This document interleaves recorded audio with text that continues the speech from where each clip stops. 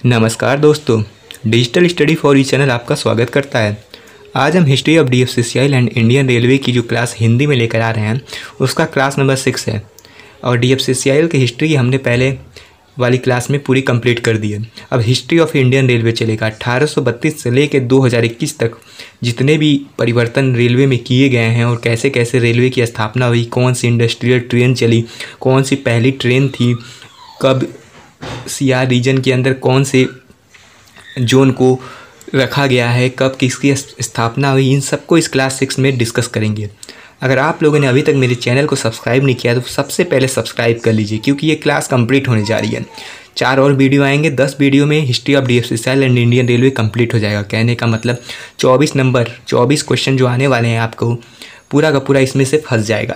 पूरा तो मैं गारंटी नहीं ले सकता, लेकिन चौबीस में से बाईस, तेईस क्वेश्चन इसी में से आएँगे।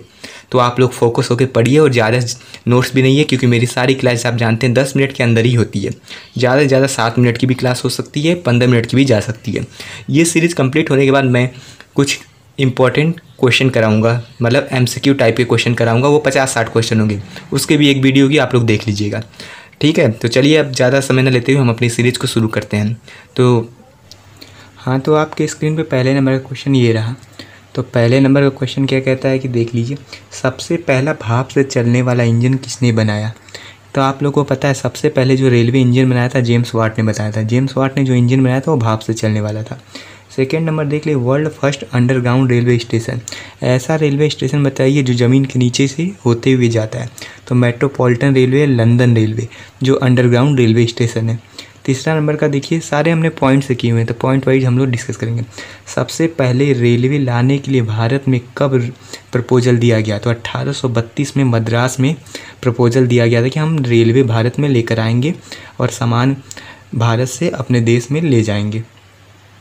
ठीक है, इस इस उद्देश्य से हमने ट्रेन लाने का प्रपोजल दिया था।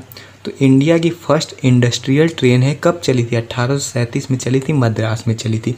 उस ट्रेन का क्या नाम था? The Red Hill railway station.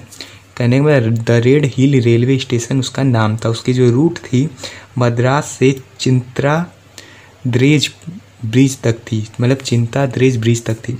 William every ने इस ट्रेन को बनाया था। इसमें भी स्टीम इंजन का प्रयोग हुआ था मतलब भाप की, भाप से ये चलती थी। ग्रेनाइट को ले जाने के लिए बनाया गया था। किसके लिए बनाया गया था? ग्रेनाइट को ले जाने के लिए बनाया था। इस ट्रेन ट्रेन को विलियम कॉटन ऑर्थर ने चलाया था। ड्राइवर का जो नाम है, ऑर्थर है, ऑर्थर ड्राइवर था, इस ट्रेन को चलाया था।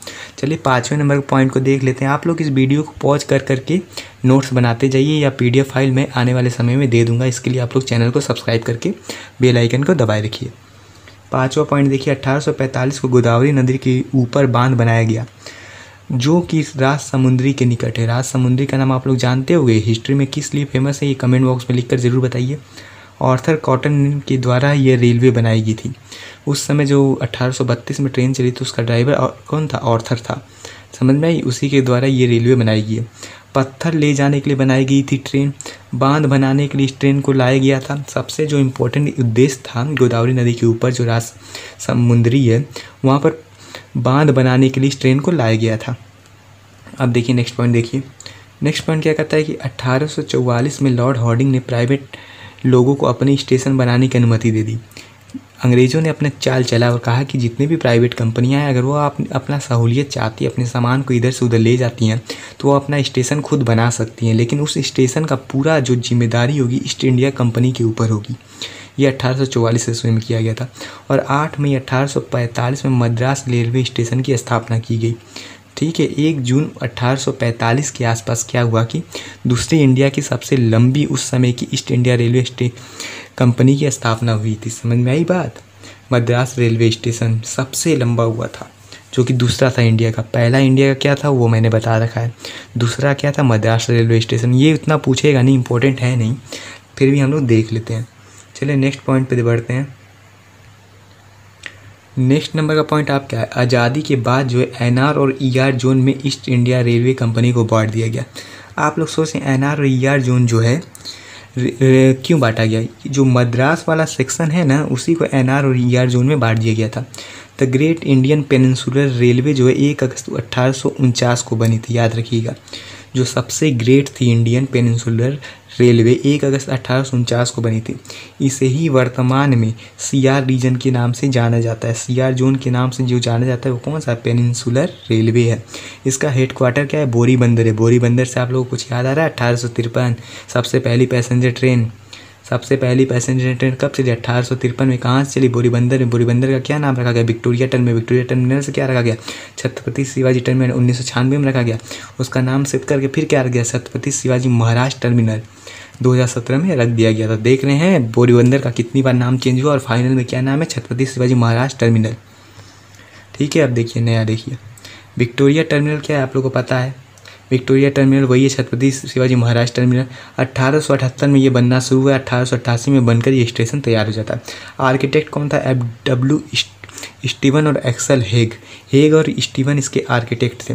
कहने का मतलब छत्रपति शिवाजी महाराज जो रेलवे स्टेशन है, उसको हेग और स्टीवन ने बनाया था। इसकी इंजीनियरिंग कोच विलियम बेल थे ठीक है?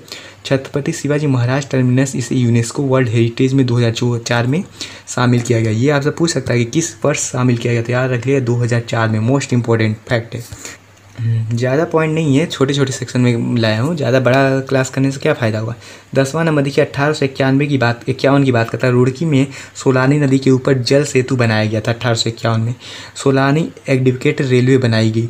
प्रोबी कोटल ने बनाई थी। ये मोस्ट इंपॉर्टेंट नहीं है तो इसको आप लोग नेग्लेक्ट कर दीजिएगा, ठीक है? अब ग्यारह नवंबर देखिए अट्ठारह सौ बावन, मद्रास गारंटेड रेलवे कंपनी बनाएगी, ये भी इंपॉर्टेंट नहीं है।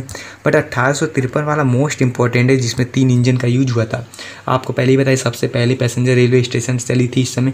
भारतीय रेलवे के पिता कौन है? आपको पता है, लार्ड डलहौजी हैं। इनका कार्यकाल क्या अट्ठारह से अट्ठारह है। सोलह अप्रैल अट्ठारह ईस्वी को क्या हुआ था? सोलह अप्रैल अट्ठारह ईस्वी को सबसे पहली पैसेंजर ट्रेन चली कहाँ चली बोरीबंदर से थाड़े के बीच में चली चौंतीस किलोमीटर की दूरी थी।